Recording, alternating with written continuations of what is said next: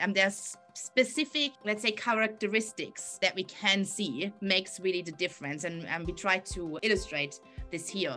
Um, so we have a KOL, we call him Dr. Smitty, and we have our DOL, she's actually a nurse DOL, we call her Dr. Smith.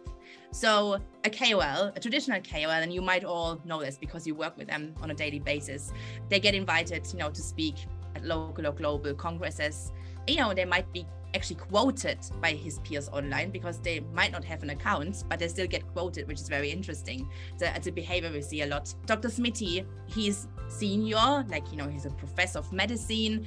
He leads a hospital division and he's very well respected specifically offline by his peers. So he has that, you know, like years of experience. One of his characteristics of Dr. Smithy and maybe of more, more of the KOLs are that he has published many research papers and articles. So this is something, you know, like where we can see he has a wealth of knowledge and experience. And what is something that Veronica touched on already is that a KOL, a traditional KOL, his influence is mainly in his country within his therapy area. So this is what we see. Let's look at Dr. Smith. She's our nurse DOL. So her influence is online, where she uses a variety of digital channels. So not only not only Twitter, she might be on TikTok or Instagram or you know all those public social media profiles. And she actually shares accurate, trustworthy information, which is already a very defined metric. You know, if someone is a DOL, that comes across, there's trustworthy information. I hope you noticed we actually made her um, by default a nurse, which is so interesting because the hierarchy within DOLs in digital space is very different than offline. Um, so she's a trained nurse maybe in the hospital she's not at the top but in the digital world she's super respected.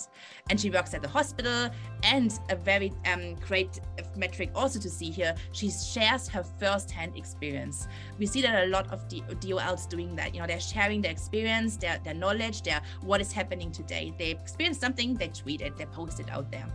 She's super active on Twitter. She writes actually her own blog. She has also podcasts and she explains complex health topics another metric we see, you know, that they're trying to break down some of those complex health topics and sometimes making it also available for patients to understand.